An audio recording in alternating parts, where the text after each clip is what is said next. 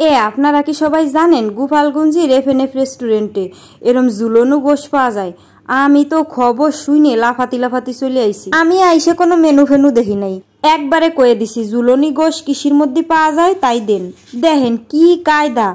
এইরম প্লেটের উপরে উপদ্যেরম গোশ জুলতিছে এইরম কি কোনো জায়গা দেখছেন, কন্দি? আজকে ভাবছি চামচ দেখাবো। আস্তে আস্তে একটু স্মার্ট ওয়ার চেষ্টা করব কতদিন আর রাত দেখাবো? বড় চিন্তায় পড়ে গেলাম এইটা খাব কোন ফিলি? পুরোটা পাইড়ে খাতি হয় নাকি এক একখান বারোই বারোই খাতি হয়? কোন ফিলি যে খাতি হয় তাই বুঝতেছি না। এরম খাবার তো আগে কোনোদিন খাই না এই জন্য বাড়ি কঠিন লাগতেছে। দেখেন, একখান গাজর ফাটতে গেলাম, এর মধ্যে তার একখান বার হয়ে গেল। কিরম ডাঠাই আর আবার লাগাতে যাচ্ছি, তা লাগতেছেও না।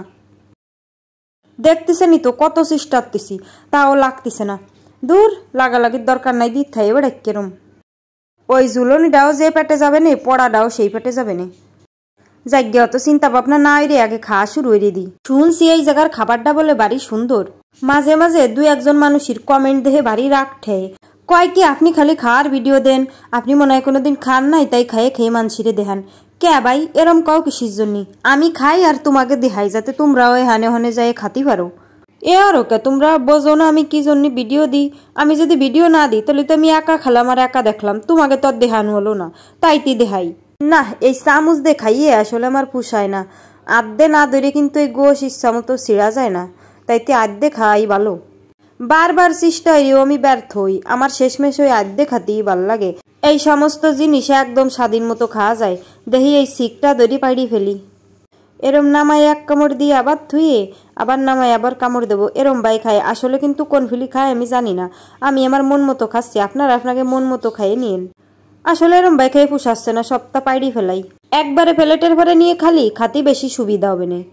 আচ্ছা এর মধ্যে তো খালি গোশ না, এর মধ্যে বেগুন দেশে তারপরে আলু দেশে কোন ফিলি পুড়ালো বুঝলাম না, বাইজে দিল না পুড়াই দিল?